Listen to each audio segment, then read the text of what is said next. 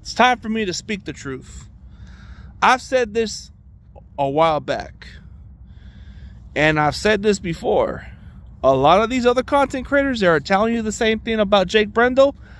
Me and 49er Miner have said this shit. Jake Brendel is pure trash. Cut our losses. Move on. Save over $3 million. His contract is year to year. So he technically signed a four year deal, but that money isn't huge guarantee money for this guy. So you can cut him and you're going to save $3 million right now.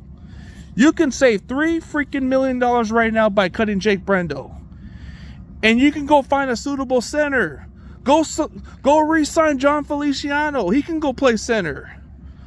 Or go sign one of the free agent centers. Or uh, go draft a center, man. I mean, you can do better. It's not only him being one of the weakest spots on our offensive line. There's quite a few dudes out there. There's McKivitz. There's Burford. But they're more serviceable backups, you know? That's okay with them being backups at that point. Brendel just isn't good enough. Brendel's trash. I've said this before.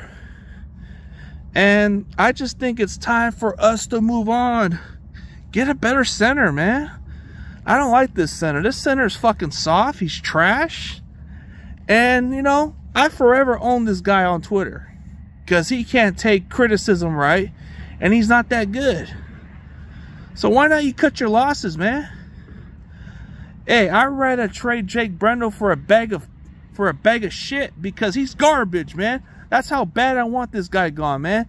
Jake Brendel is so bad, I'd rather trade his bum ass for a bag of fucking shit because he's garbage, man. That's how bad. I think we need to cut our losses, man. And there's other options. There's better options at center than Brendel. Brendel is just an adequate starter. He's supposed to be more of a backup. He has been a journeyman for a reason because he's not good enough. He only had an alternate season because of our talent. Let's be honest. If he was on a really bad team, this guy would have been cut. This guy would have been out of the lead by now. But for whatever reason, we kept him around because we make him look good. He, he's trash. I mean, he misses his assignments. Sometimes he doesn't know how to fucking read the fucking play sometimes because when you are the quarterback of the offensive line, you're supposed to communicate with the protection, and he cannot fucking do that shit. How you think a lot of the pressures have come into? Because of fucking Brendel. He's supposed to communicate with fucking Burford on the blocking assignment. If you want to blame it on Burford, that's fine. But who's supposed to be the one letting them know who to block? The fucking center. When you play center, you're supposed to let your other man know who he's supposed to block. That's how it should be. And instead, he could have came right up to Burford and tell him, bro, hey, block this dude. Or anybody, dude. There could have been other ways that Brendel could have got the job. He could have read some of the fucking blitz too, but he couldn't fucking do that shit. And it, it's not majority of his fault, all right? But you get the point. He's supposed to be the one telling them what they got to do. Because when you're the center, you're the leader of the offensive line. You're supposed to lead the team with the protection and all that stuff.